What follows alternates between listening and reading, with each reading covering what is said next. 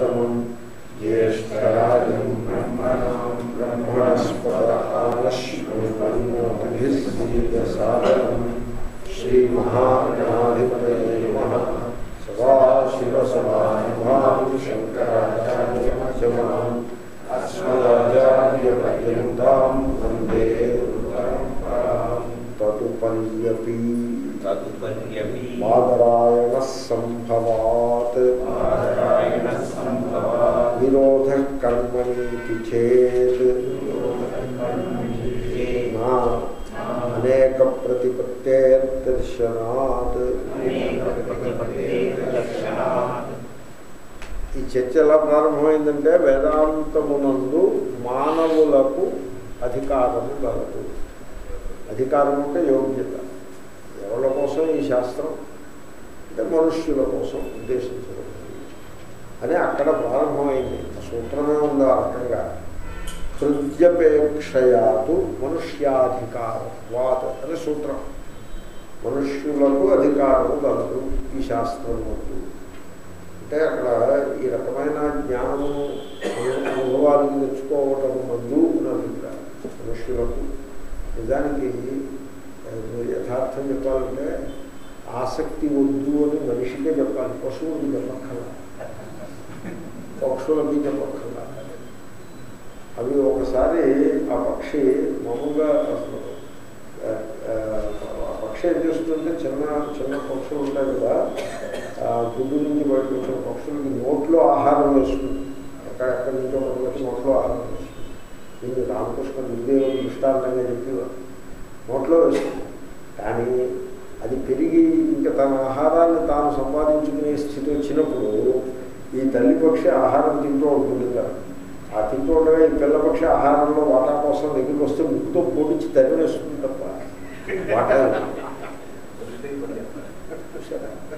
తన పిల్లే అయినా కూడా ముక్కుతో పొడుస్తుంది. పోవాలి ముక్కుతో పొడుస్తుంది. వాటా ఇవ్వదు ఆ చేప ఏదో పొడుచు పట్టుకొస్తుంది అట్లా వాటా. ఎందుకంటే నువ్వు సంపాదించుకోకూడదు ఊరిలో కూడా మకాం పెట్టినప్పుడు నువ్వు నువ్వు ఊరు కట్టుకోవాలి. అక్కడితో సరే పశువు కాబట్టి పశువులకు పక్షులకు ఆ- ఆ చెప్పక్కర్లా ఆసక్తి వద్దు సంసార అహం అనే ఆసక్తి వద్దు అని చెప్పక్కర్లా. ఈ మాట మనుషులకే చెప్పాలి. సో ఈ విధంగా శాస్త్రం యొక్క అపేక్ష మనిషికే ఉన్నది అని ప్రసంగం. ప్రసంగాను ప్రసంగేనా? ఆ ప్రసంగాన్ని అనుసరించి ఇంకో ప్రసంగం. ఏమిటి? మరి దేవతలకి లేదా? మనుషులకు ఉంది అంటే దేవతలకి లేదా? ప్రస అసలు ప్రసక్తస్యవ నిషేధ. దేవతలకి అధికారం ఉన్నదా లేదా అని ఒక ప్రశ్న వేసుకుని నిషేధించాడు ఆయన జైమిని మహర్షి. ఆయన జైమిని అన్నాడు దేవతలకు అధికారం లేదని ఆయన కోటు మహర్షి అంటే బాదరాయణ మహర్షి ఈయన ఈయన దృష్టి వేరు. ఏమిని చెప్పింది కర్మశాస్త్రం మనసులో పెట్టుకుని చెప్పాడు. బాదరాయణ మహర్షి ఏమన్నాడు? తదుపర్యపి మనుషుల కంటే పై స్థాయిలో ఉండే దేవాది యోముల దేవాది జన్మల ఎందు జన్మలు గల కూడా ఈ అధికారము గలదు అవి ఉన్నది అధికార అని బాధరాయణుడు చెప్పాడు. ఎందువల్ల? సంభవాత్. సంభవము అంటే సంభవం అవుట వలన. ఇట్ ఈస్ పాసిబుల్ అది మనం చూసాం దీని మీద పూర్వపక్షం విరోధ కర్మణి ఇది చేయాలి అని పూర్వపక్షం. అవే విరోధం వచ్చేస్తుందండి. కర్మ విషయే విరోధ విషయ సంపత్తి. కర్మ అనే అంశంలో విరోధం వస్తుంది దేవతలకు కూడా అధికారము ఉండే విరోధం వస్తుంది అని అన్నట్లయితే ఇది చేత్ విరోధ కర్మని ఇది చేత్ నా పూర్వపక్షాన్ని ఖండిస్తున్నారు. లేదు విరోధం లేదు. ఎందువల్ల? అనేక ప్రతిపత్తే దర్శన అనేది హేతు. భాష్యకారులు వివరిస్తారు. అవలేదా? ఓకే. ఓకే.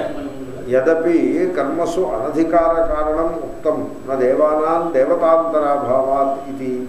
నా ఋషీణాం ఆర్షేయాంతరాభావాత్ ఇది. నా తత్ విద్యాసు అస్తి. అక్కడ రెండు సూత్రాలు చెప్పారు. దేవి మహర్షి. దేవతలకు ఈ కర్మ ఎందు అధికారం లేదు. దేవానాం నా అధికార నా. ఎందుకని? దేవతాంతరాభావాత్. ఇంద్రుడు హోమం చేయాల్సి వస్తే ఇంద్రాయ స్వాహ అని ఇంకో ఇంద్రుడికి హోమాన్ని చేయాల్సి ఉంటుంది. ఇంకో ఇంద్రుడు ఉన్నాడు ఈయనే ఇంద్రుడైతే ఇంకో ఇంద్రుడికి ఈయనే హోమం చేస్తాడు. అలాగే ఋషిని కూడా ఇప్పుడు ఋషి గాయత్రి మంత్రాన్ని జపం చేయాలనుకోండి. మీరు నేను జపం చేయాలంటే విశ్వామిత్ర ఋషి అని చెప్పి జపం చేస్తాం. విశ్వామిత్రుడు జపం చేయాలంటే ఏ ఋషి చెప్తాడు? కాబట్టి ఆ ఋషికి ఇంకో ఋషి ఉండడు. కా- కాబట్టి గాయత్రి జప ఆయనకి అక్కర్లా వాళ్ళకే కావాలి ఆయన చేయక్కర్లా కూర్చుని గాయత్రి జపం మనమే మాల తిప్పాలి. అని ఆ విధంగా ఆయన చెప్పినాడు. ఎవరు జైమిని మహర్షి. కాబట్టి అదే నియమాన్ని అనుసరించి ఆ న్యాయమునే అదే యుక్తిని మీరు ఇక్కడ కూడా అన్వయించవచ్చు. అన్వయించి దేవతలకు వేదాంతము అధికారం లేదు అన్నట్లయితే దాని మీద ఈయనేమంటున్నారంటే నా తద్విద్యాస్వస్తి. అటువంటి అధికార నిషేధం ఏదైతే జమిని మహర్షి చెప్పాడో అది జ్ఞానము విషయం నుండి ఉండదు. విద్య అంటే ఉపాసనను కూడా చెప్పచ్చు. ఇప్పుడు పరమాత్మని ఉపాసన చేయాలనుకోండి ఇంద్రుడు కూడా చేయొచ్చు. అదేమి సమస్య ఎందుకంటే నహి ఇంద్రాదీనాం విద్యాసు అభిక్రియమాణానాం ఇంద్రాద్యుద్దేశేన కించిత్కృత్యమస్తి ఇక్కడ హేతువుని ఎలా చెప్తున్నారంటే ఇంద్రుడు హోమం చేయాలనుకోండి ఇంద్రాయ స్వాహాన్ని హోమం చేయాలంటే ఇంద్రుడు ఇంద్రుణ్ణి ఉద్దేశించి హోమం చేయాలి. అది యుక్తియుక్తంగా లేదు. కాబట్టి ఇంద్రుడికి అధికారము లేదు అని చెప్పినాం కానీ ఇంద్రుడు ఆత్మనిష్ఠుడే ఉండాలనుకోండి ఉండొచ్చు. ఏ మనిషి అయినా ఆత్మనిష్ఠుడే ఉండొచ్చు ఇంద్రుడు కూడా ఆత్మనిష్ఠుడుగా ఉండవచ్చు. కాబట్టి ఇంద్రుడు ఇంద్రుణ్ణి ఉద్దేశించి చేయాల్సింది ఫలానాది ఉంది అన్నట్లయితే విరోధం వచ్చేస్తుంది తప్ప ఇక్కడ ఇంద్రుడు ఇంద్రుణ్ణి ఉద్దేశించి చేసేది ఏమి కాబట్టి ఇంద్ర ఇంద్రుడికి కూడా అధికారము గలదు అగ్నిదేవత ఉన్నాడనుకోండి. అగ్నిదేవత అగ్నయే స్వాహ అని అగ్నిని ఉద్దేశించి హోమం చేయాలంటే అధికారం సమస్య వస్తుంది తప్ప అగ్నిదేవత ఆత్మనిష్ఠుడై ఉండడానికి అధికారం సమస్య లేదు. కాబట్టి అధికారం లేదు. ఉందంటే ఇబ్బంది ఆ ఇబ్బంది అధికారానికి సంబంధించిన ఇబ్బంది ఎప్పుడు వస్తుందంటే ఇంద్రుడు ఇంద్రుడిని ఉద్దేశించి అగ్ని అగ్నిని ఉద్దేశించి ఏదైనా కొంత ఉపాసన కానీ ఏదైనా చేయాల్సి వస్తే అధికారం యొక్క ఇబ్బంది వస్తుంది. అలాంటిది ఏమీ లేదు ఇక్కడ. కాబట్టి ఏ దేవత అయినా కూడా ఆత్మనిష్టను పొంది కృతార్థులు కావడానికి అవకాశం కాదు తెలిసిందండి? నచ భృగ్వాదీనాం భృగ్వాది సగోత్రతయా. ఇంకా దేవ ఋషుల దగ్గరికి రండి. ఋషుల దగ్గరికి వస్తే ఇప్పుడు మామూలుగా మనం ఏం చేస్తాం? భృగు మహర్షి యొక్క గోత్రమునకు చెందిన వాళ్ళము అని మనం చెప్పుకుని మనం కర్మ చేస్తాం. భార్గవ సగోత్రము. అలా ఉందా గోత్రం? భార్గవ సగోత్రం. సా అంటే సమానమని భార్గవ అంటే భృగు మహర్షి వంశములకు చెందిన వారికి చెందిన గోత్రము నా గోత్రము ఉంటాయి భారద్వాజ సగోత్రం. భరద్వాజ దాన్ని తద్దిన ప్రచయం చేస్తే భారద్వాజ భరద్వాజునకు చెందిన. ఇప్పుడు భరద్వాజ మహర్షి గోత్రం చెప్పాలంటే ఏం గోత్రం చెప్తాడు? భారద్వాజ సగోత్ర అని చెప్పడానికి వీల్లేదు భార్గవ సగోత్ర అని భృగు మహర్షి చెప్పడానికి వీల్లేదు అలాంటి ఇబ్బంది వస్తుంది. కానీ ఆత్మనిష్టకి గోత్రంతో సంబంధం లేదు. భరద్వాజ మహర్షి ఆత్మనిష్ఠుడై ఉండవచ్చు. భృగు మహర్షి కూడా ఆత్మనిష్ఠుడై ఉండవచ్చు. కాబట్టి రెండు సూత్రాలు అక్కడ. నా దేవానాం దేవతాంతరాభావాత్ అనే సూత్రము నా ఋషీణాం ఆర్షేయాంతరాభావాత్ అనే రెండు సూత్రాలని పరిగణనలోకి తీసుకుని ఆ రెండు సూత్రములలో ప్రతిపాదించిన యుక్తి అధికారము లేదు అని చెప్పడం కోసం ప్రతిపాదించిన యుక్తి ఏది గలదో అది దేవతలకి వర్తించేది కాదు ఋషులకు కూడా వర్తించేది కాదు. కాబట్టి దేవతలకు ఋషులకు అందరికీ ఆత్మనిష్టయందు సమానముగా అధికారము గలదు తస్మాత్ దేవాదీనామీ విద్యాస్వధికార. కేన వార్యతే. అనే ఆక్షేపం రిటరికల్ క్వశ్చన్ కాబట్టి దేవతలకి ఋషులకు ఆ విద్యయందు ఆత్మవిద్యయందు అధికారము కలదు జిజ్ఞాసు అంటే బహువచనం ఎందుకంటే ఉపాసన ఉపాసనలన్నీ జ్ఞానాంగ ఉపాసనలు. ఇప్పుడు చాంద్రోగ్యంలో ఎన్నెన్నో ఉపాసనలు ఉన్నాయి. అవన్నీ కూడా జ్ఞానమునకు సహకరించే ఉపాసన వైశ్వానర ఉపాసన అలాగే పురుష యజ్ఞోపాసన ఇటువంటివన్నీ చాంద్రోగ్యంలో ఉన్నాయి. ఆ ఉపాసనలను ప్రతి వాళ్ళు చేయొచ్చు దేవతలు కూడా చేయొచ్చు. అక్కడ దేవతలని ఇంకొక దేవతను ఉద్దేశించి అలాగేమీ లేదు అక్కడ అదేవిధంగా ఇంకొక ఋషి ఈ ఋషి తన పేరే చెప్పుకోవాలి. అలాంటి సమస్యలు ఏమీ ఉపాసనల విషయంలో కూడా లేవు. కాబట్టి దేవతలకు ఋషులకు కూడా ఈ ఆత్మాంగ జ్ఞానాంగ ఉపాసనలు ఏవైతే గలవో వాటి ఎందు అధికారము గలవు విద్యాసు బహువచనం ఉంది. అందుకోసం నేను ఉపాసనలు అంటున్నా. ఈ ఉపాసనలన్నిటి ఎందు కూడా ఆ జ్ఞానాంగ ఉపాసన అన్నిటి ఎందు కర్మాంగోపాసనల ఎందు అధికారం ఉండదు. అలాగే స్వతంత్రమైన ఉపాసనల ఎందు కూడా అధికారం ఉండదు. కానీ జ్ఞానాంగోపాసనల ఎందు ఋషులకు దేవతలకు అధికారం లేదని ఎవరు చెప్పగలడు? ఎవడో అడ్డుకొనగలడు? అంటే ఏ హేతు చేత కూడా కేన హేతునా వాల్యతే ఇత్యపి వక్తుమ శక్యతే. ఏ హేతువుతో మీరు అడ్డుకుంటారు? అంటే వా అడ్డుకునేటువంటి హేతువు ఏది లేదు. దేవాద్యధికారేపి అంగుష్ఠమాత్ర శృతి స్వాంగుష్టాపేక్షయా న విరుధ్యతే అంగుష్ట శృ అంగుష్ఠోపాసన అంటే అలా భావన చేసుకోవాలి. దేవుడు ఈ ఊళ్ళో ఉన్నాడు ఆ ఊళ్ళో ఉన్నాడని అలా ఉంటుంది కొద్ది రోజులు. మామూలుగా చిన్నపిల్లలకి ఇక్కడికి అక్కడికి వెళ్ళాలని ఉంటుంది. మీరు ఎప్పుడైనా గమనించారా?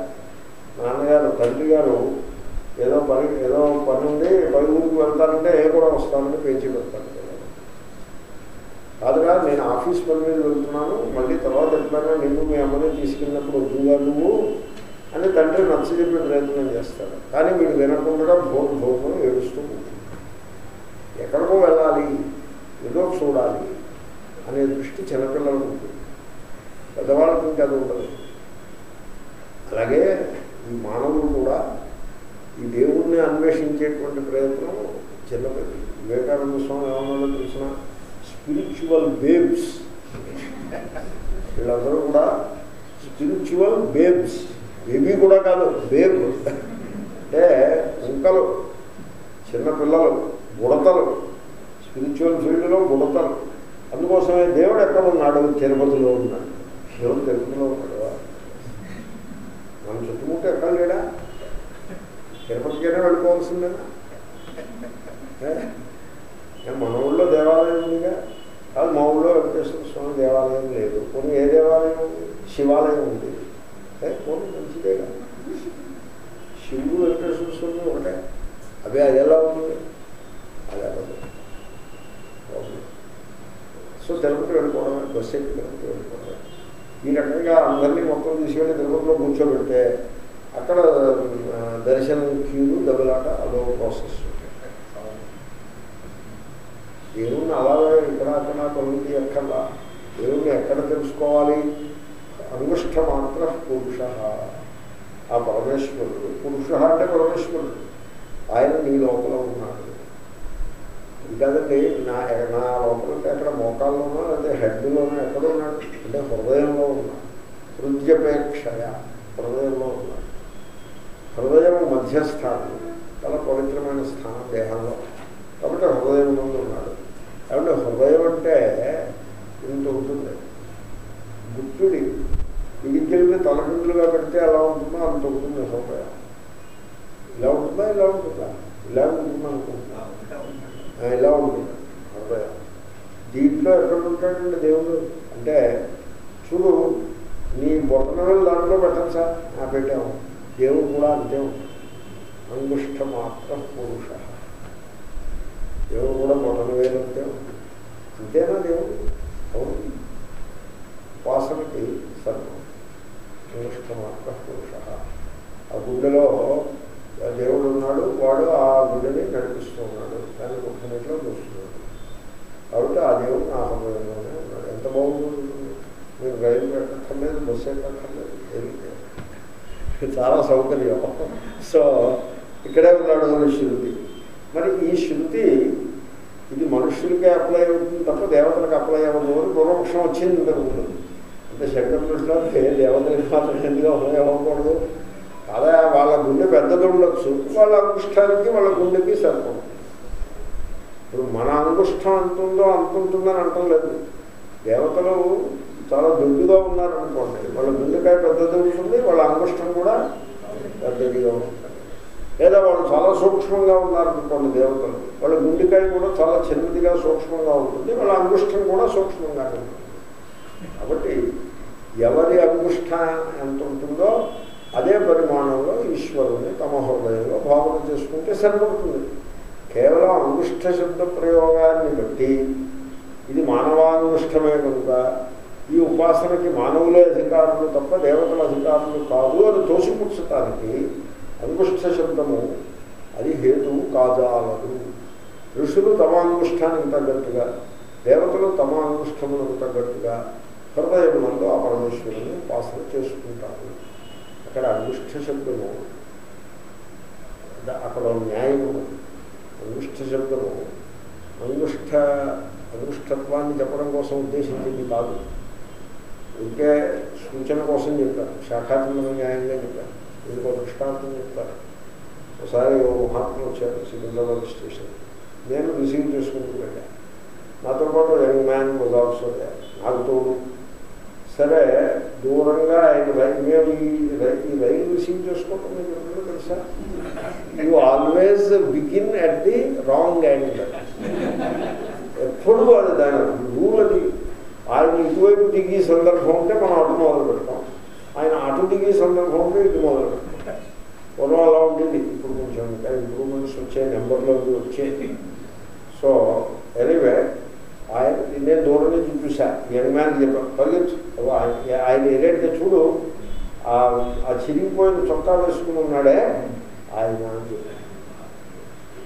ఆ చినిగిన చొక్కా చొక్కా చినిగి ఉన్నది. చినిగిన చొక్కా వేసుకుని ఉన్నాడు ఆయన. ఆయన వెళ్ళి పట్టుకోవాలి. ఇప్పుడు అక్కడ నేను బోధిస్తున్నది చినిగిన చొక్కానా? లేకపోతే మహాత్ముడా? మహాత్ముడు. చినిగిన చొక్కా పరము కాదు వాక్యము. మరి దేని పరము మహాత్ముడు పరం అంటే వాక్యము యొక్క తాత్పర్యము చినిగిన చొక్కా మీద కాదు. తాత్పర్యం మహాత్ముడు.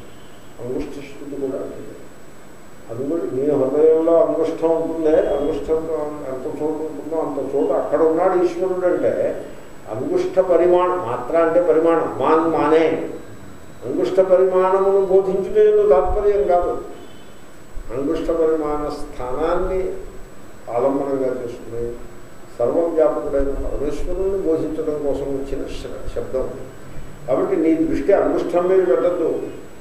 ఇక సూచనగా చెప్పింది అంగుష్టం.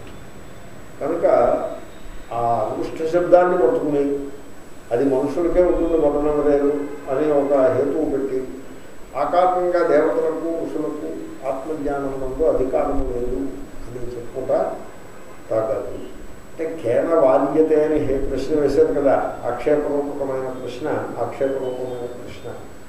అంటే కేన వాద్యతే ఏ హేతువుతో నువ్వు వాదిస్తాము అన్నప్పుడు అంగుష్ట శృతి అనే హేతువుతో మేము వాదించగలము అంటావేమో అంగుష్ట శృతి నీకు సహకరించదు. అక్కడ కదా విరోధ చేత్ నా అనేక ప్రతిపత్తే దర్శనాత్. దీని మీద మళ్ళీ పూర్వపక్షము దాన్ని ఖండన స్వభాష్యకాలు స్యాదేతత్. స్యాదేతత్. అంటే బాగానే ఉంది. మీరు చెప్పిందంతా బాగానే ఉంది. అనేక అభ్యంతరాలని నేను త్రోసిపుచ్చగలిగినారు బాగానే ఉంది కానీ ఇంకో అదనపు అంశము కాదు అదేమంటే యది విగ్రహవత్వాద్యభ్యుపగమేన దేవానాం విద్యాస్వధికారో వర్ణ్యేత విగ్రహవత్వాత్ ఋత్విగాదివత్ ఇంద్రాదీనామపి స్వరూపసన్నిధానేన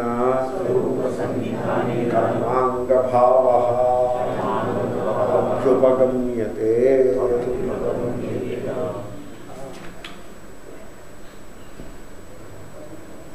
అభ్యుపగమ్యతాం అని ఉందా గమ్యేతాం. ఉందా? గమ్యేతాం. గమ్యేత. మంచిది అభ్యుపగమ్యేత విధిలింగ్ ఆత్మనేపథం విధిలింగ్ సో దీని మీద మళ్ళీ ఒక ప్రశ్న. అంతకుముందు మనం చదివినాం ఆ, మొదటి సూత్రంలో దేవతలకు విగ్రహం ఉన్నదా లేదా? అనే ఒక ప్రశ్న. అయితే మనం ఏమంటున్నాము వేదాంతము నందు దేవతలకు అధికారము కలదు అని చెప్తున్నాం అంటే దేవతలకు విగ్రహం ఉండితే విగ్రహం ఉండాలి. విగ్రహం ఉంటే ఆ దేవత గురువు దగ్గరికి వెళ్ళి శుశ్రూష చేసి శ్రవణం చేసి తత్వజ్ఞానం పొందినది అని చెప్పగలుగుతారు. అసలు విగ్రహమే లేదనుకోండి దేవతకి. గురువు దగ్గరికి వెళ్ళడం శ్రవణం చేయడం ఇదంతా కూడా అసందర్భంగా తయారు కాబట్టి దేవతకి విగ్రహం ఉండటం లేదుట. ముందు అది తేల్చండి. వేదాంతం ముందు అధికారం మేము తర్వాత చెప్తాం. అంటే వాళ్ళు ఏమన్నారంటే దేవతలకు విగ్రహం లేదు అన్నారు. చిత్రం ఏమంటే ఎవళ్ళైతే కర్మని బోధించారో వాళ్ళే దేవతలకు విగ్రహం లేదని కర్మని కర్మం చెప్పిన వాళ్ళు వేదాంతులు ఎవరు విగ్రహం ఉందని అన్నారు. వీడు విగ్రహం విగ్రహాన్ని స్వీకరించారు అల్టిమేట్గా విగ్రహం మిథ్య. ఆ మిథ్యారూపమే మిథ్యానే మాట తర్వాత వస్తుంది ఇప్పుడు అందులో. విగ్రహం అనే అంటారు. సో సినిమా గురించి చర్చించేప్పుడు వాడు బాగా యాక్ట్ చేశాడా లేదా అని చర్చించేప్పుడు ఆ చర్చే చేయాలి కానీ సినిమా అంతా మిథ్య సినిమా అంతా మిథ్యని మాకు తెలుసు. దాని పాయింట్ పాయింట్ ఏంటంటే వాడు బాగా యాక్ట్ చేసాడా లేదా అదే చెప్పాలి మీకు. అలాగే ఇక్కడ. సో విగ్రహం ఉన్నదా లేదా? అంటే వాళ్ళు ఏమన్నారంటే విగ్రహం లేదండి.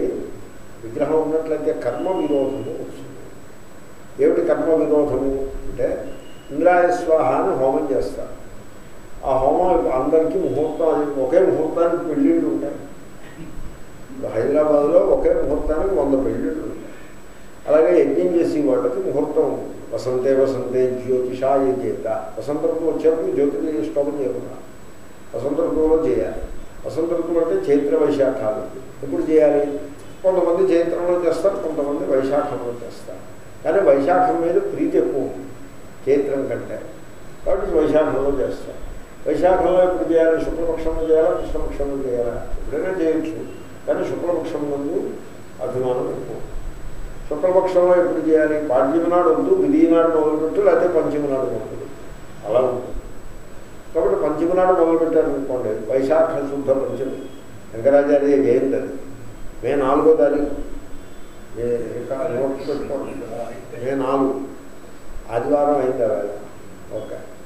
సో ఆ వేళ మొదలు పెడతారు యజ్ఞం. చాలామంది ఓ పది యజ్ఞాలు అవుతున్నాయి అనుకోండి పూర్వం చేసేవారు యజ్ఞాలు ఇప్పుడు ఎవరు చేయట్లేదు కానీ పది యజ్ఞాలు చేశారు అనుకోండి. అదే అందరూ అదే సమయంలో ఇంద్రాయ స్వాహ హోమం చేస్తారు. ఇవి ఇంద్రుడికి విగ్రహం ఉంటే ఎక్కడో ఒక చోట ఉండగలుగుతారు. ఏదో ఒక యజ్ఞంలో ఉండి విగ్రహం ఉంటే ఒకచోటే ఉండగలుగుతాడు మిగతా యజ్ఞాలన్నీ కూడా వ్యర్థములు అని తెలుస్తుంది ఆ యజ్ఞం ఏదో కూడా మనకు అర్థం కాదు. కాబట్టి కర్మ విరోధం వస్తుంది కదా. ఇంద్రుడికి విగ్రహము లేదు అన్నప్పుడు అంటే ఆయన ఒక ఫిజికల్ ఎంటిటీ కాదు అన్నప్పుడు నాన్ ఎంటి ఫిజికల్ ఎంటిటీ కానిది పరిచ్ఛేదములు లేనిది. ఇట్ కెన్ బి ఎవరివే అని వాళ్ళు అలా వర్కౌట్ చేసుకొస్తారు. వాళ్ళు ఏమంటారంటే ఆ మంత్రం నుంచే ఒక శక్తి పుడుతుంది అదే దేవత కాబట్టి ఎక్కడ మంత్రం ఉంటే అక్కడే దేవత. ఎన్ని దేవతలు ఉన్నా అభ్యంతరం లేదు ఇంద్ర శబ్దంతో. అలా వర్ణించారు. కాబట్టి దేవతకి విగ్రహము లేదు.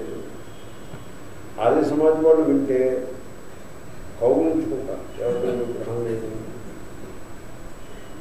ఈ మీమాంసకులు కానీ ఆర్య సమాజ వాళ్ళకి మీమాంసకులకి మధ్యలో పచ్చగడ్డ వేస్తే భగ్గుమంటుంది ఎందుకో తెలిసిన? ఆర్య సమాజం వాళ్ళు బ్రాహ్మణాలను ఒప్పుకోరు. మంత్రాన్ని తీసుకుంటారు బ్రాహ్మణాలను తిరస్కరిస్తారు. అసలు ఈ మీమాంసకులకి ఉన్నది ముఖ్యమైనది బ్రాహ్మణమే. మంత్రం సెకండరీ వీళ్ళు బ్రాహ్మణ ప్రధానులే. మంత్రం తక్కువే. మంత్రాన్ని కూడా వాళ్ళు మధ్య లెక్క పెట్టాలి బ్రాహ్మణమే ముఖ్యం. వాటెవర్ సో విగ్రహం ఉండడానికి వీలు లేదు. విగ్రహం ఉంటే కర్మ ఎందుకు విరోధం వస్తుంది. కాబట్టి దేవతలకు విగ్రహము లేదు. దేవతలకు విగ్రహం లేదు కనుక వేదాంతమునందు అధికారము ఉండడం కుదరదు. ఓకే? ఇప్పుడు దీన్ని తిరగేయండి. దేవతలకు అధికారము వేదాంతమునందు గలదు అన్నారనుకోండి. అంటే ఏంటనమాట విగ్రహం ఉండాలి. విగ్రహం ఉంటే కర్మ ఎందు అధికారులకు విరోధము వచ్చేస్తుంది అది కర్మని విరోధ. కర్మ ఎందు విరోధం వస్తుంది. ఓకే? ఇప్పుడు స్యాదేతత్ మీరు చెప్పినంత బాగానే ఉందండి. కానీ యది విగ్రహవత్వాద్యుపగమైన దేవాదీనాం విద్యాస్వధికార వర్ణ్యేత. దేవతలకు విగ్రహం ఉన్నది అని స్వీకరించి ఆ కారణంగా దేవతలకు విద్యలయందు అంటే వేదాంత విద్యలయందు అధికారము కలదు అని మేము వర్ణించే పక్షంలో దేవతలకి విగ్రహం ఉంటుంది ఎలా ఉంటుంది విగ్రహం అంటే ఋత్వికాదులు. ఈ ఋత్విక్కి విగ్రహం ఉందిగా? అధ్వర్యుడు ఆయన ఆయనకు విగ్రహం ఉన్నది దేహం. యజమానుడికి విగ్రహం ఉన్నది. ఆ హోతకి విగ్రహం ఉన్నది. ఉద్గాతకి విగ్రహం ఉన్నది. వీళ్ళందరికీ విగ్రహం ఉన్నట్టుగానే ఇంద్రుడికి అగ్నికి వరుణుడికి వీళ్ళందరికీ కూడా విగ్రహాలు ఉండాల్సి ఉంటుంది ఒక విగ్రహాలు ఉన్నప్పుడు వాళ్ళు ఏం చేయాలి? ఆ కర్మలో స్వయంగా వచ్చి తాము అక్కడ ఉండి ఆ కర్మలో అంగము కావాలి. కర్మలో దేవత అంగము. కర్మకి దేవత అంగము. దేవత కోసం కర్మ కాదు. కర్మ కోసం దేవత. మీమాంసకులు అలాగే ఉంటారు. కర్మవాదులు అంటే వాడికి మంత్రము ముఖ్యం కాదు కర్మ ముఖ్యం. మంత్రం ఎందుకోసం కర్మలో అంగము. దేవత దేనికోసం కర్మలో అంగము. కర్త దేనికోసం కర్మలో అంగము. క్రియ చుట్టూ తిరుగుతుంది వాళ్ళ శాస్త్రం ఉంటారు అమ్నాయానాం క్రియార్థత్వాత్ ఆనర్థక్య మతదర్థానాం అనే సూత్రం నేను చాలాసార్లు చెప్పాను. ఈ మొత్తం వేదమంతా కూడా క్రియ ఎందే పర్యవసానం చెందుతుంది. క్రియా సంబంధం లేనిదంతా వ్యర్థం. కాబట్టి దేవతైనా క్రియలో సంబంధము ఉంటుంది. సో కాబట్టి దేవత కర్మాంగం అవ్వాలి.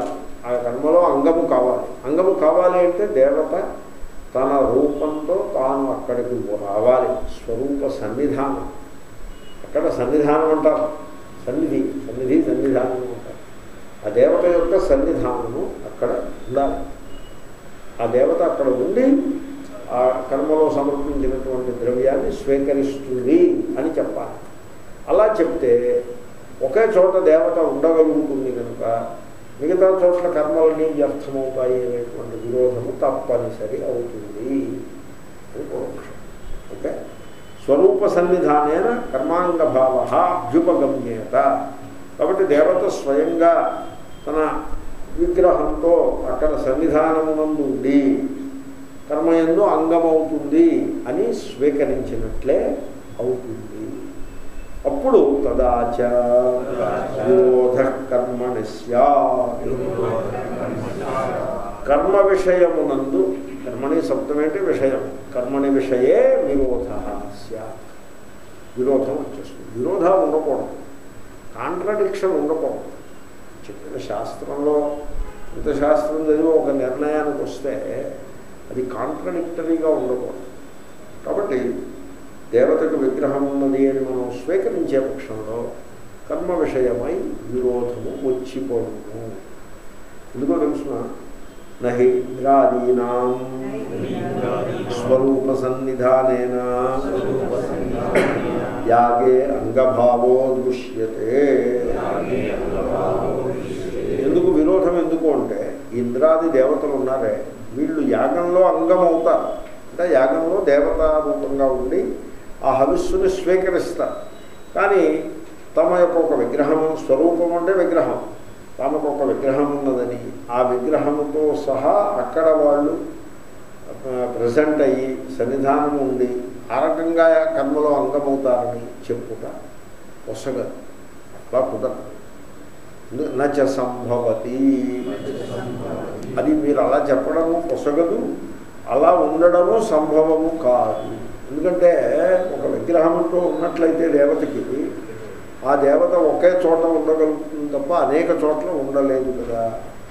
బహుషు యాగేషు యుగపత్ ఏకస్య ఇంద్రస్య స్వరూప సన్నిధానతానుపత్తే ఎందుకంటే అనేక యాగాలు ఒకే సమయంలో అవుతూ ఉంటాయి. ఇప్పుడు ఒకే ఇంద్రుడు విగ్రహము గల ఇంద్రుడు. అనేక యాగములలో స్వయంగా స్వరూపం చేతను సన్నిధి నుండి ఆ యాగములన్నిటి యొక్క ద్రవ్యమును తాను స్వీకరిస్తాడు అని చెప్పటము అది యుక్తియుక్తంగా ఉంటుంది. కాబట్టి కర్మని మీరు నిలబెట్టాలనుకుంటే దేవతకి విగ్రహము ఉండడానికి వీలు లేదు కాదండి దేవతకి వేదాంతం అధికారం ఉంది అని మీరంటే దేవతకి విగ్రహం ఉండాలి కనుక కర్మకి విరోధము వచ్చిపోతుంది. కర్మ వేదమే చెప్పింది కదా కర్మని చెప్పింది కూడా వేదమే. వేదాంతం కూడా వేదమే. కాబట్టి ఈ కష్టం నుంచి బయటపడాలంటే ఒకే ఒక ఉపాయము వేదాంతముల ఎందు మనుష్యులకు అధికారం ఉంది తప్ప దేవతలకి లేదు అని మీరు అనేస్తే ఈ కష్టం నుంచి బయటపడుతున్నారు ఇది చే ఇది తెలిసిందండి ఇది చేత్ నా నా అంటే అర్థం ఏంటి నాయమస్తి విరోధ ఈ విరోధము లేదు కాబట్టి విరోధాన్ని ఎప్పుడైతే పరిహరిస్తారో దేవతలకు మళ్ళీ అధికారం వచ్చేస్తుంది ఈ టాపిక్ ఇలా సాగుతూ ఉంటుందండి మీరు దీంట్లో ఇంకో దాంట్లో షిఫ్ట్ అవుతారు కొంచెం ఓపిక పట్టాలి ఇది దేవతలకు అధికారం ఉందా లేదా అని చర్చిస్తున్నారు అని అనుకోవద్దు వింటూ కొంచెం ఒప్పుకుంటే అది క్రమంగా ఇంకో దాంట్లో విషయంతో చాలా మంచి మంచి విషయాలన్నీ వస్తాయి. మొత్తానికి పాపం ఎంత శ్రద్ధగా చర్చ చేస్తున్నారో చూడండి. ఈ విరోధము లేదు. కస్మాత్ ఎందువల్ల? ఇంతసేపు కష్టపడి విరోధాన్ని ఇంతలా ఎక్స్ప్లెయిన్ చేస్తే లేదు అని ఎందుకు కొట్టుకారేస్తాం ఎందువల్ల? అనేక ప్రతిపత్తే అది హేతు పంచమే ఏకవచనం. దర్శనాత్ అది రెండో హేతు. రెండు కారణాలు చెప్తున్నారు. మొదటి కారణం ఏమిటంటే అనేక ప్రతిపత్తి వలన. ఏమిటి అనేక ప్రతిపత్తి ఏకస్యాపి దేవతాత్మన. యుగపత్ అనేక స్వరూప ప్రతిపత్తి సంభవతి. ఒకటే దేవత. ఆ దేవత యొక్క స్వరూపం ఒక్కటే. కానీ ఆ దేవత ఒకే కాలంలో అనేక రూపములతో అనేక స్థానముల ఎందు ఉండుట సంభవం అని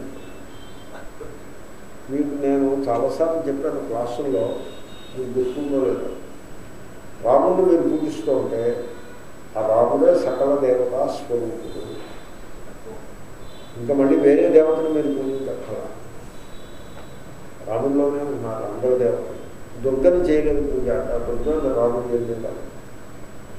విష్ణువుని పూజించారు విష్ణువు రాముడు శివుడు ఆ శివుడు కూడా రాముడు చేయాలి అంటే ఒకే రాముడు ఇందరు దేవతల రూపంగా ఉన్నారు.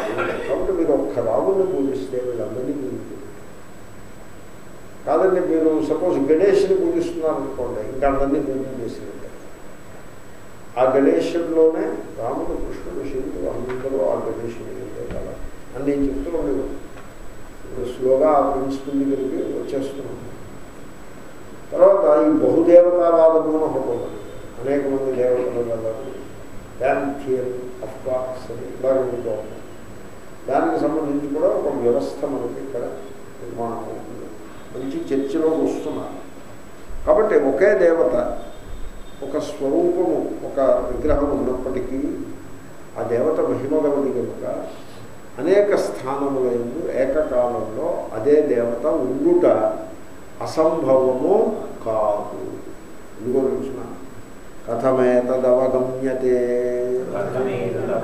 అంటే అనేక ప్రతిపత్తి ఒకే దేవత అనేక రూపములను స్వీకరించుట అనేది మీకు ఎలా తెలుస్తుంది అలాగా? అలా స్వీకరిస్తుందని మీరు ఎలా చెప్పగలరు? అంటే దర్శనాత్.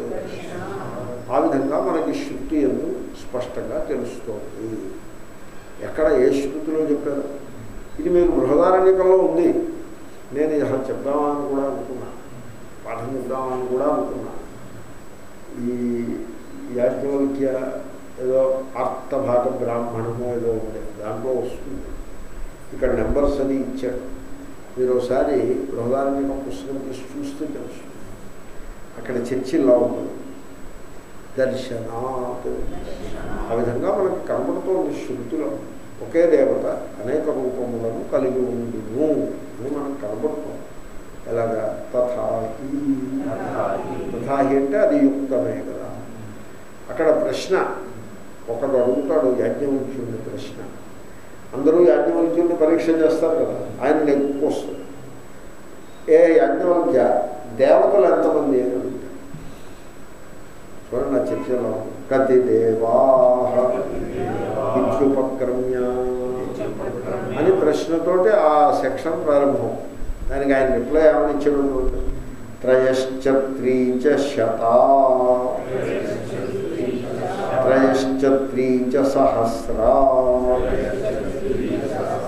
ఇది నిరుచ్య. దానికి సమాధానం ఆయన ఏమని చెప్పాడంటే నూ త్రయశ్చ త్రీచ శత. మూడు వందల మూడు. మూడు వందల మూడు. మూడు వేల మూడు. కలిపితే మూడు వేల మూడు వందల ఆరు దేవతలు అని చెప్పాడు? అంతమంది దేవతలు ఉన్నారు అని చెప్పాడు. ఓకే. కథమేతే. ఓకే. ఆ మూడు వేల మూడు వందల ఆరు దేవతలు ఎవరో చెప్పు? అని మళ్ళీ ప్రశ్న. ఇత్యస్యాం పృచ్ఛాయాం. అని మళ్ళీ ప్రశ్నించగా ఆయన మళ్ళీ సమాధానం ఏమని చెప్పాడంటే మహిమాన ఏవా. ఏషామేతే త్రయస్త్రింశత్వేవ దేవా. ఇది నిర్బ్రువతి శృతి. అని శృతి మళ్ళీ చెప్పాడు. శృతి అంటే యాజ్ఞవల్క్యుడే చెప్పాడు.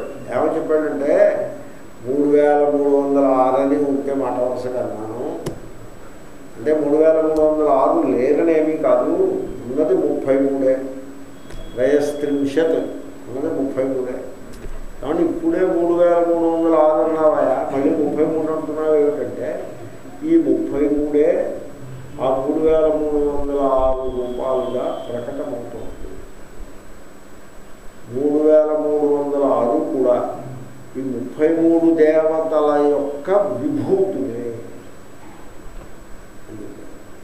ఎలా ఉంది అంటే ముప్పై మూడు దేవతలే మూడు వేల మూడు వందల ఆరు రూపాయలలో ప్రకటన అవుతుంది విభూతులు మహిమాన అంటే విభూతులు అక్కడతో అయిపోలేదు ముప్పై మూడు ఏమిటని అడుగుతాడు అడిగితే ఏదో లిస్ట్ ఇస్తాడు ఇచ్చి మళ్ళీ ఏమని చెప్తాడో తెలిసిన ఆరు అని చెప్తాడు అంటే మరి ముప్పై మూడు అన్నావు కదండి ఈ ఆరింటి యొక్క విభూతులే ఆరు.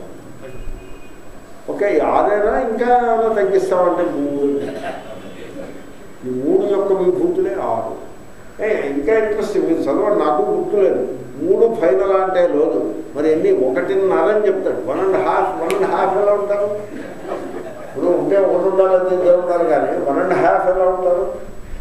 ఇద్దరు ఫ్రెండ్స్ వస్తువులు వెళ్తున్నారు బస్సులో వాళ్ళిద్దరు ఫ్రెండ్సే కొలీగ్స్ ఈచి మిడిల్ ఏజ్ కండక్టర్ వచ్చాడు. ఎన్ని టికెట్లు సార్? అంటే ఒకటిన్నర ఇవ్వండి ఒకటిన్నర ఇవ్వంటే కండక్టర్ ఎవరు హాఫ్ టికెట్ ఎవరంటే ఒకళ్ళు ఆయనకి హాఫ్ టికెట్ ఏమిటి?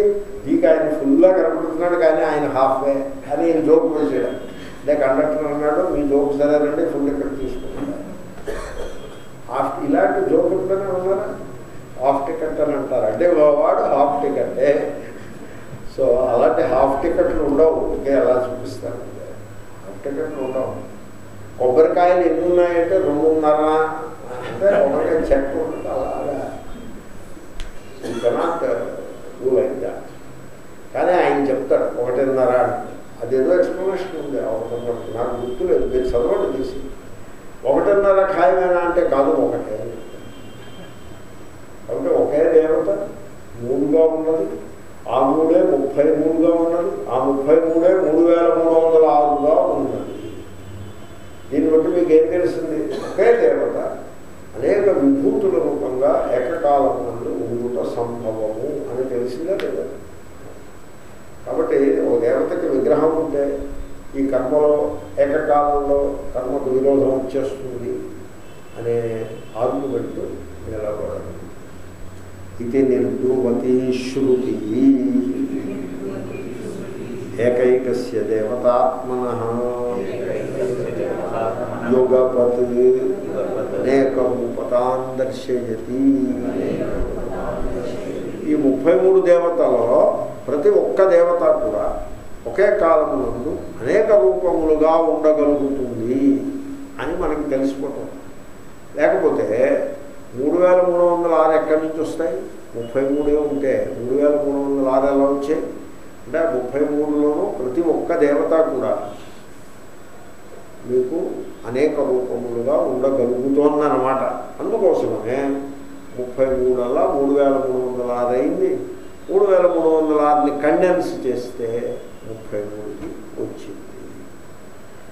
తథా షడాద్యంతర్భావే షడాద్యంతర్భావక్రమేణ కథమ ఏకో దేవ ఇది ప్రాణ ఇది ప్రాణైకరూపతాన్ దేవానాం దర్శయంతి తస్యైవ ఏకస్య ప్రాణస్య యుగపత్ అనేక రూపతాన్ దర్శయతి చాలా గొప్ప విషయాలు ఎంత గొప్ప విషయాలంటే ఈ దేవాలయాల్లోనూ అక్కడ పూజలు చేసే వాళ్ళకి తర్వాత పురాణాలు బోధిస్తూ ఉంటారు సమాజంలో వాళ్ళకి వాళ్ళకి తెలుసుకునే ఈ విషయాలు కొంతమందికి చెప్తే బాగుంది కొంత క్లారిటీ వస్తుంది జనాలు. ఈ- ఈ వాక్యం చూడండి. ఆ ముప్పై మూడుతో ఆగలేదండి. ఆ ముప్పై మూడుని ఆరులో అంతర్గతం చేశాడు. షట్ ఆది అంటే ఆరుని మూడు చేశాడు మూడుని ఒకటిన్నర చేసి ఫైనల్గా ఒకటికి వచ్చాడు. ఆ క్రమంలో ముప్పై మూడుని ఆరులో అంతర్గతం చేసి ఆరుని మూడు చేసి మూడుని ఒకటి చేశాడు ఫైనల్గా. ఫైనల్గా ఏమని చెప్పాడంటే ఏకో దేవ అని చెప్పాడు. చెప్తే మళ్ళీ ప్రశ్న కథమ ఏకో దేవ ఇది. ఆ ఒక్క దేవుడి ఎవరు? అని ప్రశ్న. దానికి యాజ్ఞవల్క్యుడి సమాధానము హిరణ్య గర్భుడు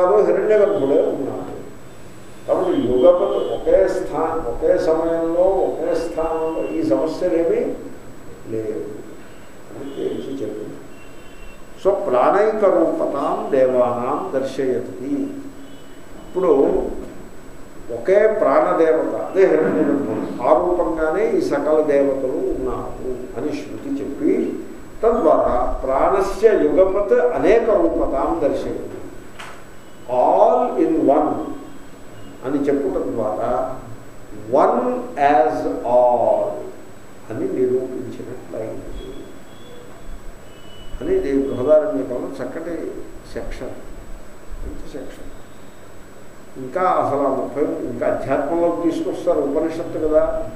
అధ్యాత్మంలోకి తీసుకొస్తారు. ఇంకా అనేక ఇష్యూస్ ఉన్నాయి అక్కడ. మంచి మంచి అంశాలు ఉన్నాయి. ఇప్పుడు మీకు ఏదైనా కష్టం వచ్చిందనుకోండి కష్టంలో ఉన్నవాడు దేవతని ఆరాధించవచ్చు కదా. ఆర్తభక్తి అంటారు మీకు అన్ని కడుపు నుండి ఇంకా కావాలని ఆరాధించవచ్చు.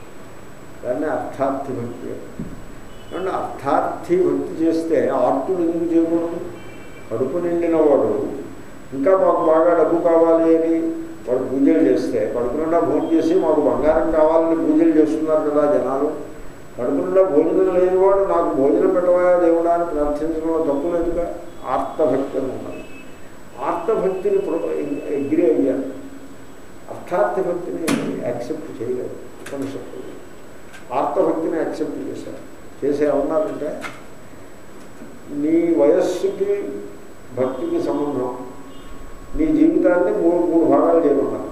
ఇరవై నాలుగు వరకు ఒకటి నలభై ఎనిమిది. ఇరవై నాలుగుకి నలభై ఎనిమిది కలపండి. డెబ్భై రెండు డెబ్భై రెండు వరకు సెకండ్ మిగిలింది థర్డ్ ఫస్ట్ ట్వంటీ ఫోర్ లోపల మీకు ఏదైనా కష్టం ఉంటే వసు అనే దేవతలని ఆరాధించడం. వసు అంటే అగ్ని. అగ్నిని ఆరాధించాలి. ఫస్ట్ ట్వంటీ ఫోర్ లోపల.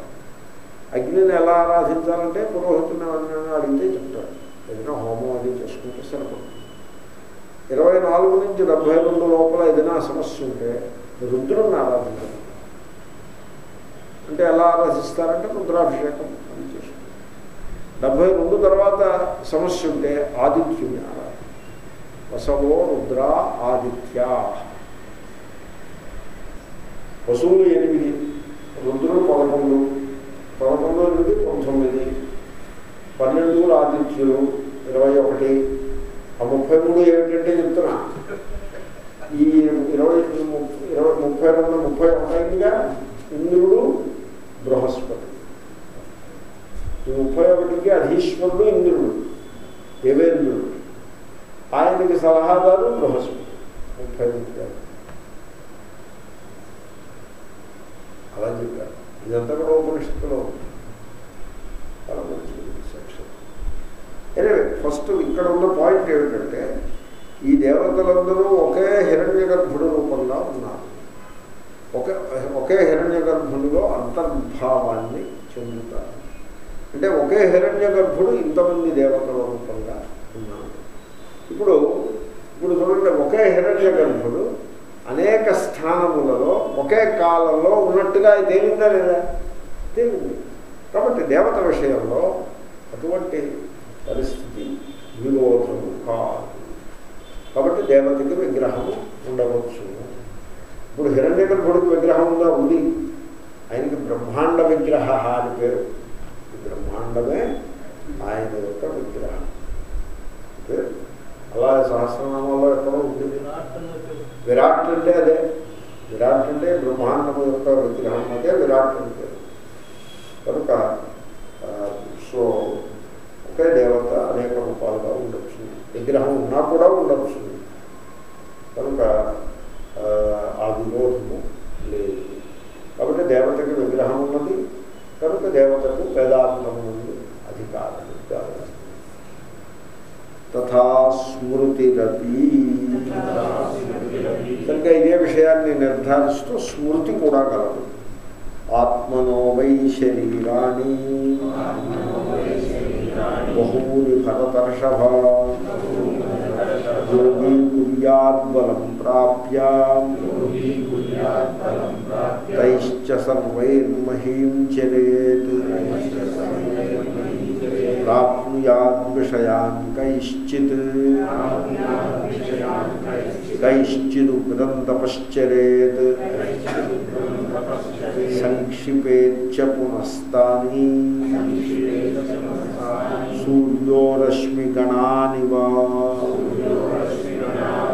इत्येवं जातीयकाः विसर्गल एवं जातीयकाः ప్రాప్తాని మాద్యైశ్వర్యాణం యోగినామపి యోగపత్ శరీరయోగం దర్శయతి స్మృతి ఉన్నది ఈ స్మృతి ఎక్కడి నుంచి వచ్చింది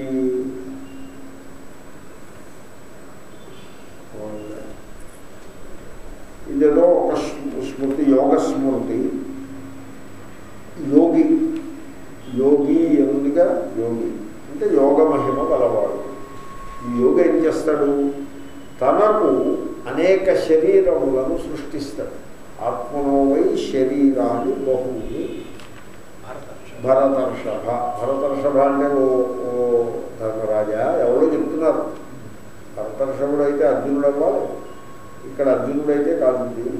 గీతలోది కాదుగా కాబట్టి ధర్మరాజు గారికి ఎవరో చెప్పారు ఓ ధర్మరాజా ఈ యోగి ఉన్నాడే వీడు తన యొక్క యోగ మహిమ చేత అనేక దేహములను కల్పించుకుంటాడు తనకే కల్పించి ఆ బలమును పొంది బలము అంటే యోగ బలము యోగ బలమును పొంది అనేక దేహములను కల్పించుకుంటాడు కల్పించుకుని వాటన్నిటితోటి ఈ భూలోకాన్నంతని కూడా సంచరిస్తూ ఉంటాడు ఏమంటే ఒకే యోగి ఇంకా ఏం చేస్తాడు కొన్ని చోట్ల అదే యోగి కొన్ని దేహములతో ఇంద్రియ భోగములను అనుభవిస్తూ ఉంటాడు ఓ చోట హాయిగా హంసభూమిగా తలపంపై సేవించి ఉంటాడు ఒక దేహంతో ఇంకో దేహంతో ఖరీదైనటువంటి మంచి రుచికరములైన పదార్థాలను భుజిస్తూ ఉంటాడు ఈ విధంగా ఇంద్రియ భోగాల్ని కొన్ని దేహాలతో సేవిస్తాడు మరికొన్ని దేహాలతోటి కఠినమైన తపస్సు చేస్తూ ఉంటాడు. అదే యోగి ఇంకో కొన్ని దేహాలతోటి హిమాలయాల్లో చలిలో కూర్చుని కఠినమైన తపస్సు చేస్తూ ఉంటాడు. ఇంతసేపు చేసి ఆ తర్వాత మళ్ళీ ఆ దేహాలన్నింటినీ తనలోకి విత్డ్రా చేసేసుకుని మళ్ళీ ఒకే యోగి కింద నిలబడి ఉంటాడు. ఇదంతా ఎలా ఉందంటే సూర్యుడు ఉదయమే తన నుండి అనేకములైన కిరణములను జగత్తంతా ప్రసరింపజేసి సాయంకాలం అయ్యేప్పటికీ ఆ కిరణాలన్నింటినీ తనలోకి మళ్ళీ ఉపసంహారం చేసుకుంటాడే అదేవిధంగా యోగి అనేక దేహములను జగత్తులో ప్రసరింపజేసి మళ్ళీ వాటిని తన ఎందుకు విత్డ్రా చేసుకోగలుగుతాడు అని అనిమా గరిమా ఇత్యాది యోగ సిద్ధులు పొందిన యోగులు కూడా ఇంత పని చేయగలరు అని స్మృతులు చెప్తూ ఉంటే సాక్షాత్తు పరమేశ్వరుడు ఎందుకు చేయలేకపోతాడు? కాబట్టి యోగులు అనిమాది సిద్ధులను పొంది ఒకే సమయంలో అనేక శరీరములను కలిగి ఉండుట సంభవమైనప్పుడు ఇంద్రాది దేవతలకు అది ఎందుకు సంభవము కాదు? కాబట్టి విగ్రహము ఉండుట విరోధము కాదు. ఓకే? కిము వక్తవ్యం ఆజాన సిద్ధానాం దేవానాం ఇప్పుడు ఈ యోగి పుట్టినప్పుడు ఇన్ని మహిమలు వాడికి లేవు. వాడు పుట్టి పెరిగి యోగ సాధనలను చేసుకుని ఇన్ని మహిమలను సంపాదించాడు. అలాంటిది దేవతలు స్వతహాగానే అంటే పుట్టుకతోటే అన్ని సిద్ధులను కలిగి ఉంటారు. అటువంటి దేవతలకు అనేక దేహయోగ అనేక దేహములతో సంబంధము కలిగి ఉండుట ఎందుకు సంభవము కాదు? వారికి సంభవమవునని వేరే చెప్పవలన? కిముత. అనేక రూప ప్రతిపత్తి సంభవాచ ఏకైకా దేవత బహుభి రూపై. ఆత్మానం ప్రవిభజ్య. బహుషు యాగేషు యుగపత్ అంగభావం గచ్చతి కాబట్టి అనేక ప్రతిపత్తే అనేది వ్యాఖ్యానం చేస్తున్నారు. అనేక ప్రతిపత్తి అంటే అనేక రూప ప్రతిపత్తి అనేకములైన రూపములను పొందుట సంభవము కనుక ప్రతి దేవత కూడా ఏకైక దేవత ముప్పై మూడు దేవతలు ఉన్నారు. ఈ దేవతల్లో ప్రతి ఒక్క దేవత కూడా అనేకమైన రూపములను పొంది ప్రతి యాగంలో ఒకేసారి జరిగిన తనను తన యొక్క సన్నిధానాన్ని అక్కడ ప్రవేశపెట్టి ఆ యాగంలో ఉండే ద్రవ్యాన్ని స్వీకరించుట సంభవమే. కాబట్టి ప్రతి దేవత కూడా ఒకే కాలం నందు జరిగే అనేక యాగాలలో ఆయా కర్మలన్నింటి ఎందు అంగము అగుట సంభవమే అనేక ప్రతిపత్తే. అది హేతు. అయితే మరి ఒకే దేవత అనేక రూపములను దర్శించి అనేక యాగములలో అంగం అవుతుంటే మనకు కనపడటం లేదు ఎందుకని అనొచ్చు కదా. పరైశ్చన దృశ్యతే అంతర్ధానాది క్రియాయోగాత్. విద్యతే ఇంద్రుడికి విగ్రహమే ఉంటే అనేక విరోధాలు వచ్చాయి ఒక విరోధం ఏమిటి? అనేక చోట్ల ఉండడానికి వీలు లేదు. ఆ విరోధం పరిహరించారు అయితే మరి ఇంద్రుడు సాక్షాత్తు విగ్రహము కలిగి యాగశాలలో ప్రవేశించి ఆ కర్మలో అంగమయ్యాడు అంటే మరి మాకెందుకు కనపడ్డు అని ఇంకో ప్రశ్న. అదేమి సమస్య కాదండి. ఆయన అంతర్ధానము అనే శక్తిని కలిగి ఉన్నాడు. అంటే ఉండి కూడా కనపడకుండా అనే శక్తిని దేవత కలిగి ఉన్నారు ఇవన్నీ ఎలా ఉన్నాయంటే తెలియకపోతే మహిమలు తెలిస్తే ఏమి మీకు తెలుసా? అంతర్ధానము అనేది సంభవము ఎలాగ? అంతర్ధానం అంటే ఎలాగా? అసలు మీరు అదే ప్రిన్సిపల్ చూడండి. ఈ వస్తువుని మీరు చూస్తున్నారు. ఎలా చూస్తున్నారు? దాని మీద పడిన కాంతి కిరణములు పరావర్తనం చెంది పరావర్తనం అంటారా? పరివర్తనం అంటారా పరావర్తనము చెంది మన కంట్లో ప్రవేశించబట్టి మీరు దాన్ని చూడగలుగుతున్నారు. సపోజ్ ఏ కారణం చేతనైనా దాని మీద పడ్డ కాంతి కిరణాలను అన్నింటినీ అది మింగేసింది అనుకోండి మీకు కనపడుతుందా చీకట్లో పెట్టారనుకోండి కనపడదు. ఎందువల్ల? కాంతి లేదు. పరావర్తనము లేదు వెలుగులో పెడితే కనపడుతోంది. ఎందుకని కాంతి ఉండి పరావర్తనము ఉండుట చేత. సపోజ్ దీని మీద ఒక కోటింగ్ ఒకటి వేశారు. ఒక సబ్స్టెన్స్ని కోటింగ్ వేస్తారు. ఆ సబ్స్టెన్స్ ఏం చేస్తుందంటే తన మీద పడ్డ కాంతి కిరణాలను అన్నింటినీ అబ్జర్వ్ చేసేసుకుంటుంది ఆ కోటింగ్ వేసినప్పుడు ఆ సబ్స్టెన్స్ మీకు కానబడాలి సంభవమైన? ఇది థియరిటికల్ దీన్ని ఈ మధ్యన వాళ్ళు ఒక కోట్ ఒకటి తయారు చేశారు ఒక క్లోక్. ఉంది స్టెల్త్ కోట్. ఆ కోట్ వేసేసుకుంటే దాని మీద పడ్డ కిర కిరణాలు పరావర్తనం చెందవు. అబ్జర్వ్ అయిపోతాయి. కాబట్టి కలుగుతాయి ఉంది అలాగే ఉంది. యూ బిలీవ్ మీ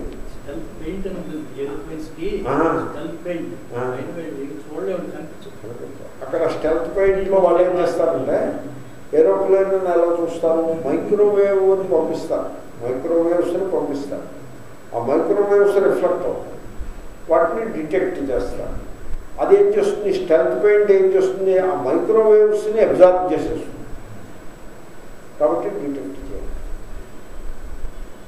కాబట్టి నా అభిప్రాయం మన ఋషులు ఇవన్నీ ఆల్రెడీ కనిపెట్టి కూర్చోబెట్టారు. నా అభిప్రాయం కాదు. నేను అలాగా అన్నాను మొత్తానికి సంభవమే. ఈ జగత్తులో ఇది సంభవము ఇది సంభవము కాదు అని చెప్పడానికి వీల్లేదు. దూరదర్శనము సంభవము కాదు అనుకున్నాను ఒకప్పుడు. ఇప్పుడు దూరదర్శనము ప్రతి వాడి చేతిలో అభిప్రాయం మీరు దూరదర్శనం చేసి వాడు అక్కడ ఎక్కడో ఉంటాడు వాడిని మీరు ఇప్పుడు క్రికెట్ ప్రత్యక్ష ప్రసారము అది ఒకప్పుడు క్రికెట్ కామెంటరీ ప్రత్యక్ష ప్రసారం. కాదు కామెంటరీ వివరణ. వాళ్ళు చూసి వివరిస్తారు. అది మనం వింటాం. అది గొప్పగా ఉండేది. మేము వింటూ ఉన్న వాళ్ళం మళ్ళీ పెట్టింది. ఇప్పుడు ప్రత్యక్ష వినడం కాదు. ప్రత్యక్ష ప్రసారం. అక్కడ ఆడుకుంటే మనం కూర్చొని చూడవచ్చు అలాగే దూర శ్రవణము దూర దర్శనము దూర శ్రవణము ఒకప్పుడు ఇవి మహిమలు. ఇప్పుడు చాలా సరళమైన విషయాలు. అలాగే ఈ క్లోక్స్ అన్నీ అలాంటివే. ఈ పర్టికులర్ పెయింట్ ఉన్న క్లోక్స్. ఎనివే ఇంద్రాది దేవతలకి విగ్రహం ఉన్నది. అయితే కనపడరేమి? కనపడకుండా అడ్డు పెట్టుకునే శక్తి వాళ్ళకి కాదు. వాళ్ళు విగ్రహం లేదని చెప్పారు. ఎందుకు లేదు? ఉంటే కనపడాలి కదా. కాబట్టి లేదు అన్నారు. ఉంది ఉన్నా కనపడక్కర్లేదు అని ఇక్కడ సమాధానం చెప్పారు క్వచిత్ ఏకోపి విగ్రహవాన్ ఓహో ఇంకా ముందుకు వెళ్ళిపోయామా అనేక ప్రతిపత్తేర్దర్శనాత్ ఇత్యస్య అపరా వ్యాఖ్య అనేక ప్రతిపత్తే దర్శనాత్ అనేది ఒక రకంగా మనం వ్యాఖ్యానం చేసాం ఎలా చేసాము ఒకే దేవత అనేక రూపములను పొందుట సంభవమే. ఆ విధంగా శృతి స్మృతుల యందు మనకు కనబడుతోంది కనుక అని వ్యాఖ్యానం చేశాం ఇప్పుడు అదే అదే ఫ్రేజ్ని ఆ రెండు పదములను ఇంకో రకంగా కూడా వ్యాఖ్యానం చేయవచ్చును. అది ఎలాగా? విగ్రహమతామపి మాంగభావచోదనాసు అనేకా ప్రతిపత్తిర్దృశ్యతే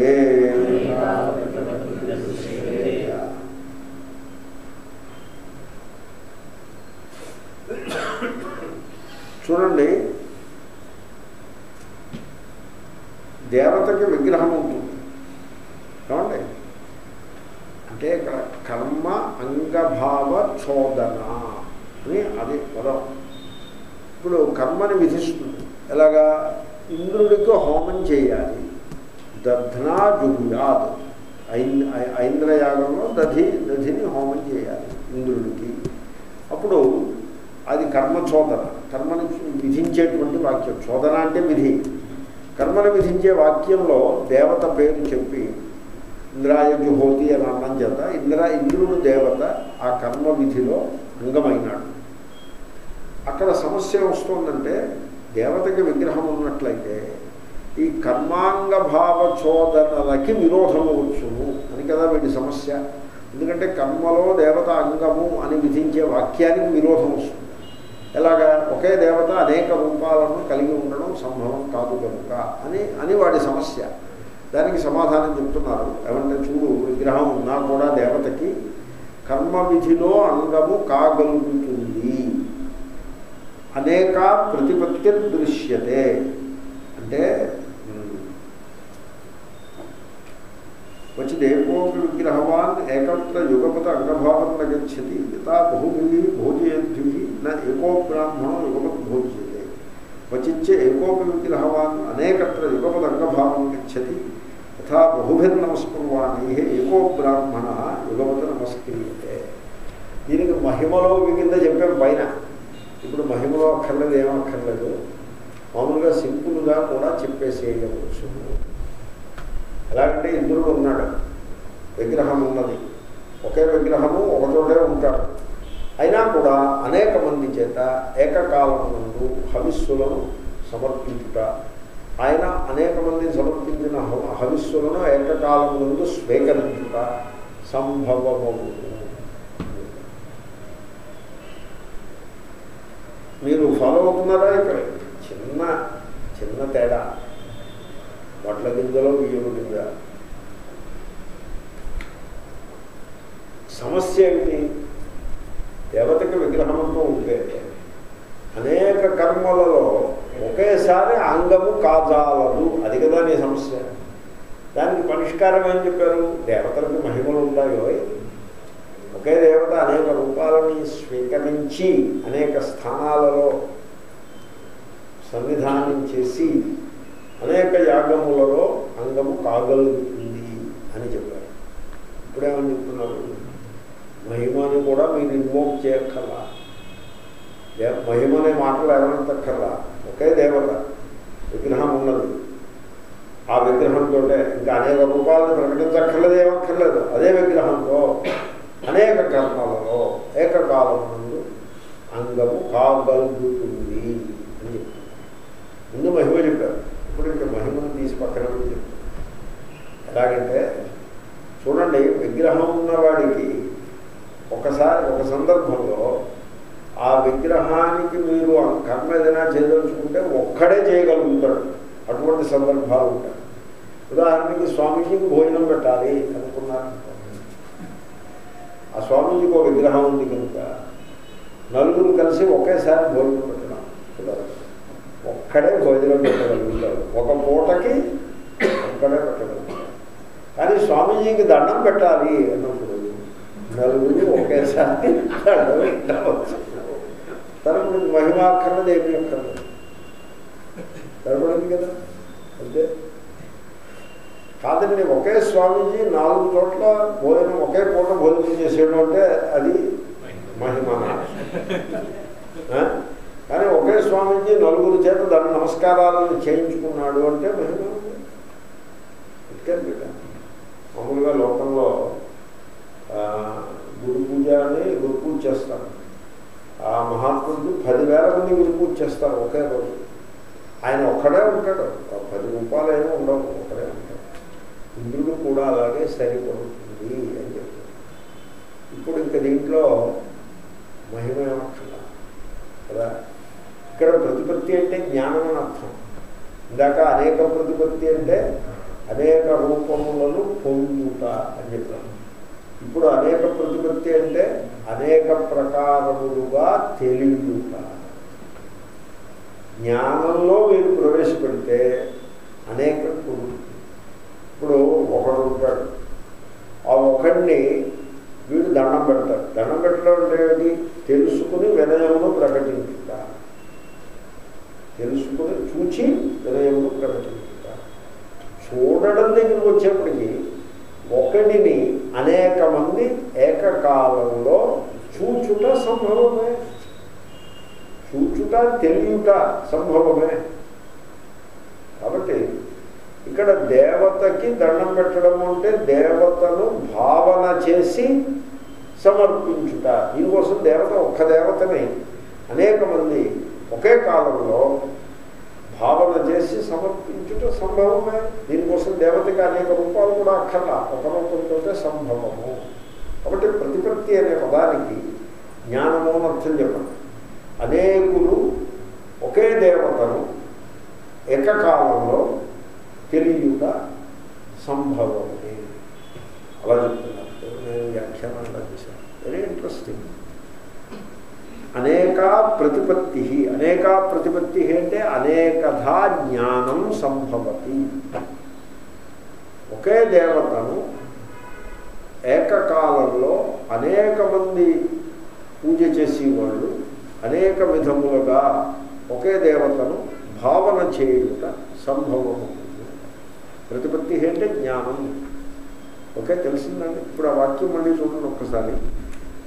విగ్రహవతామపి అంటే విగ్రహము కలిగిన దేవతలకు కూడా కర్మాంగ భావన భావచోదనాసు. కర్మలో అంగమయ్యేటువంటి విధివాక్యముల సందర్భములో అనేకా ప్రతిపత్తి అనేకములుగా తెలియబడుట దృశ్యతే కనబడుచున్నది. ఓకే? అది వివరిస్తారు దాన్ని. క్వచిత్. ఏకోపి విగ్రహవాన్ ఏకత్ర యుగపత్ అంగభావం నగచ్చతి అంటే వ్యతిరేక దృష్టాంతం ఒకడు ఉన్నాడు ఒక విగ్రహము కలదు. వాడు ఒకే కాలంలో అనేక కర్మల ఎందు అంగము అవుతాడా? అవడు.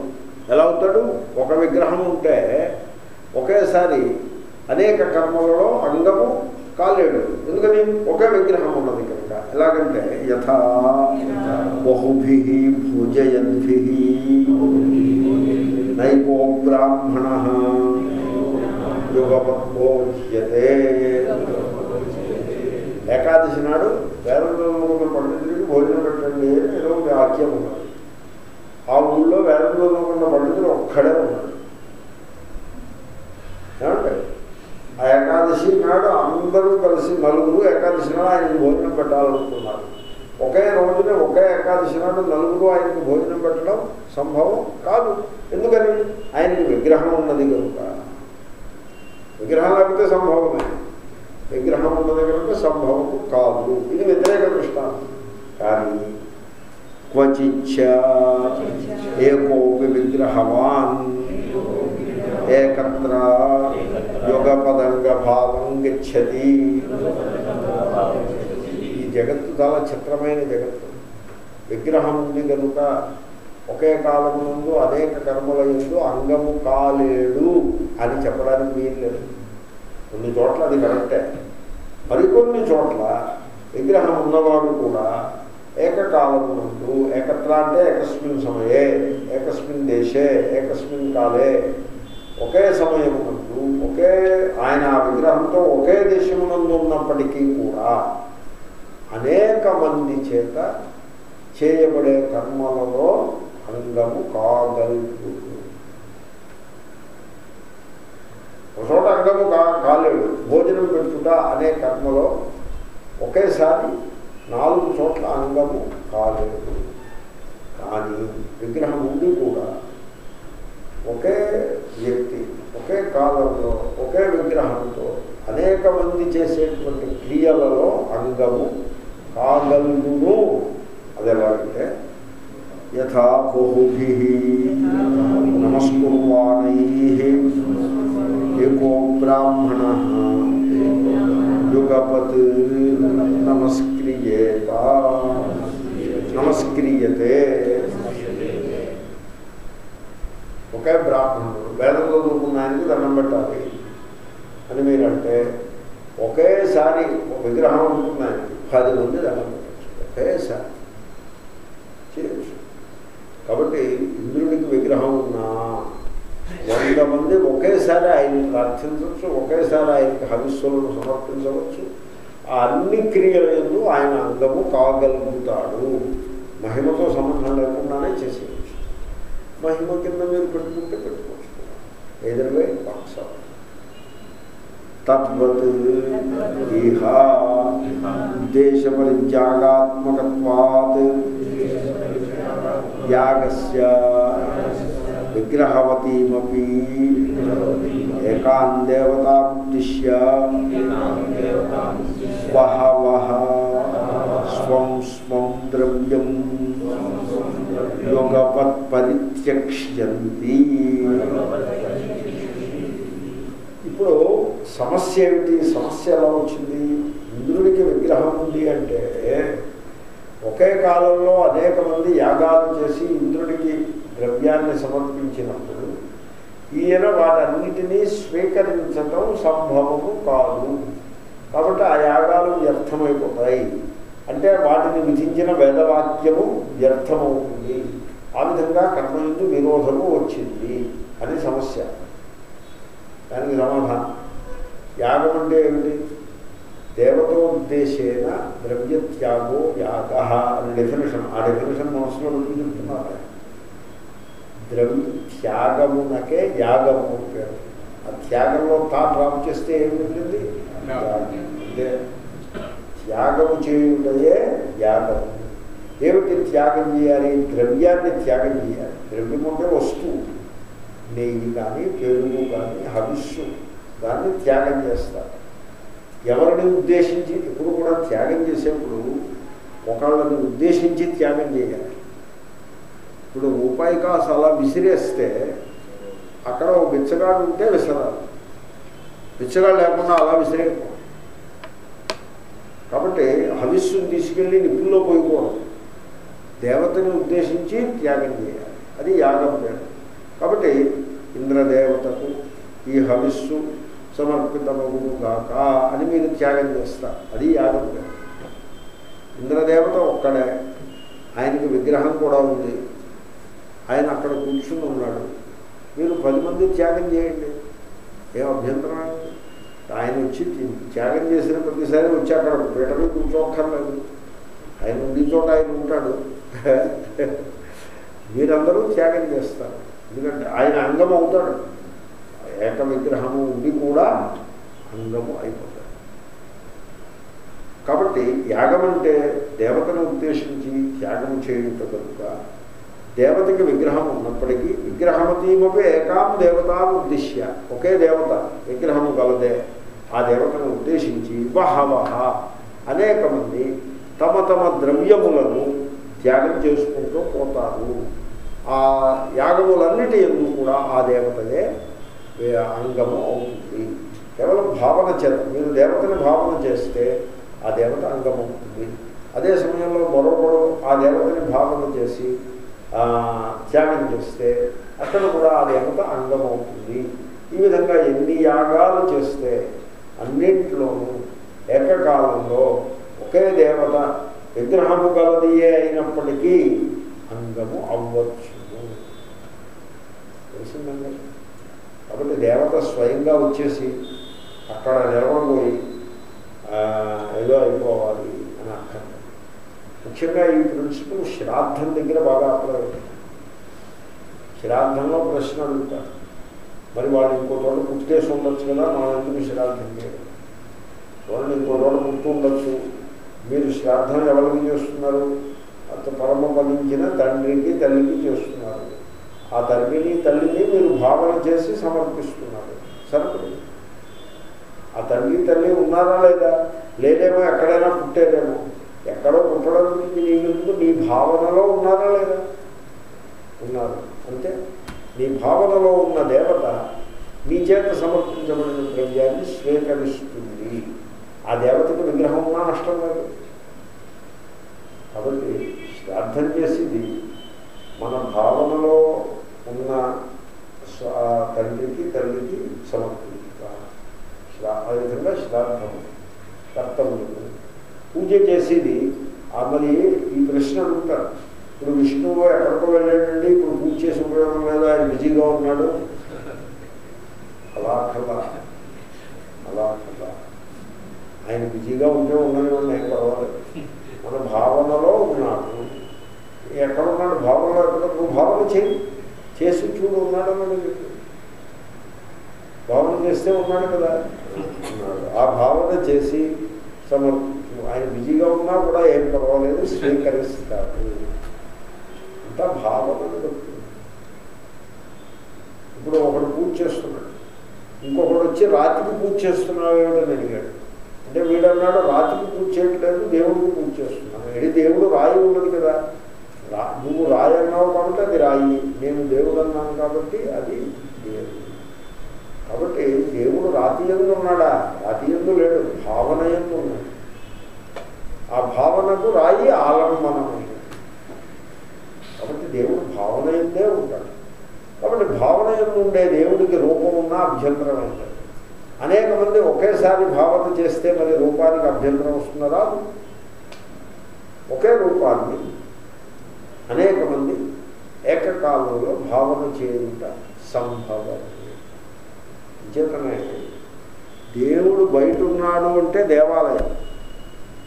దేవుడు భావనలో ఉన్నాడు అంటే ఉపాసన జ్ఞానము. అవుతుంది దేవుడు బయటే ఉన్నాడు అంటే ఒకేసారి పది మంది పూజ చేయటం కుదరదు.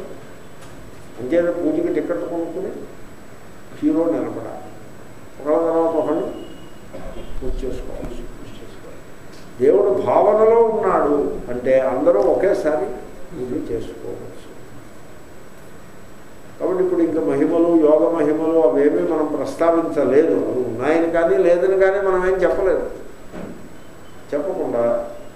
విగ్రహవత్వాన్ని మనము సమర్థించినాము కాబట్టి దేవతకి విగ్రహం ఉండుట సంభవమే. కర్మకి విరోధం లేకుండా దేవతకి విగ్రహం ఉండుట సంభవమే. సంభవము కనుక దేవతలకు ఆత్మజ్ఞానం నందు అధికారము గలదు. కర్మని విరోధము పరిహారం చేశాం. శబ్దే విరోధం. శబ్దమునందు విరోధం ఉంటుంది. సూత్రం అందాము శబ్ద ఇది చే శబ్దే విరోధ అనేవాడు పైనుంచి వస్తుంది. పై సూత్రం నుంచి విరోధ అనువృత్తి వస్తుంది. కర్మని విరోధం పరిహారం చేశాం. శబ్దే ఇది చేతంటే శబ్దే విరోధ ఇది చే. కర్మయందు విరోధం తొలగించాము కానీ శబ్దమునందు విరోధం వస్తుంది. అంటే నా అత ప్రభవాత్ ప్రత్యక్షానుమానాభ్యాం. అంటే దేవతకు విగ్రహం ఉంది అని మీరంటే శబ్దమునందు విరోధము వచ్చును అనే అబ్జెక్షన్ లేవనెత్తుతున్నారు నో ఆ విరోధము కూడా రాదు. నిజానికి సర్వము శబ్దం నుంచే పుట్టింది. అతఃప్రభవ అత అంటే దీని నుండి. దీని నుండి అంటే శబ్దము నుండి పుట్టింది. ప్రత్యక్షంగా మనకి తెలుస్తోంది అనుమానం చేత కూడా అదే తెలుస్తుంది. అంటే ఒక కొత్త సిద్ధాంతాన్ని ప్రతిపాదిస్తుంది ఇది మళ్ళీ వాళ్ళకి చూద్దాం ఓం పూర్ణమద పూర్ణమిదం పూర్ణాత్ పూర్ణముదచ్యతే పూర్ణస్య పూర్ణమాదాయ